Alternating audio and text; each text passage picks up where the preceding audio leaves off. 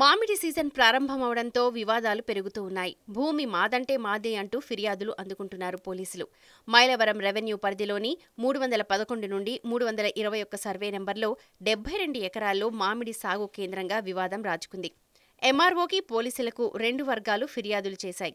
దళితులు మైనారిటీలు అలాగే భూ యజమానుల మధ్య భూ వివాదం నెలకొంది.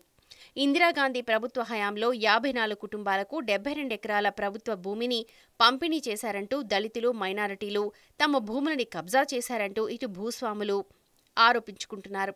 సాగులో మేమే ఉన్నాం మేము కొనుగోలు చేశామంటూ భూమి మాదే అంటున్నారు భూ యజమానులు. కొనుగోలు చేసిన పత్రాలు మా దగ్గర ఉన్నా పంట చేతికొచ్చే సమయానికి తమకు అడ్డుపడుతున్నారు అంటూ ఆరోపిస్తూ ఉన్నారు.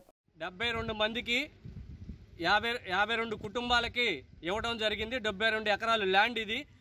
ఇది పంతొమ్మిది వందల నాలుగులో ఇచ్చారు. దీనిలో ఎస్సీ ఎస్టీ మైనారిటీలకు చెందినటువంటి పేదలు ఉన్నారు దీనిలో.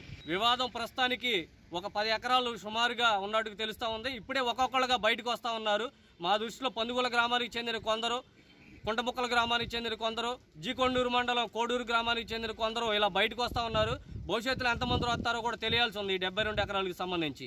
ఏదేమైనా సరే ఈ డెబ్బై రెండు ఎకరాలని కూడా చాలామంది భూస్వాములు మైలవరం ప్రాంతానికి చెందిన ఏ పెద్దలు ఉన్నారో వాళ్ళ ఆధ్వర్యంలో వీళ్ళందరూ ఆక్రమించుకున్నారని మాకు సమాచారం తెలుస్తూ ఉంది.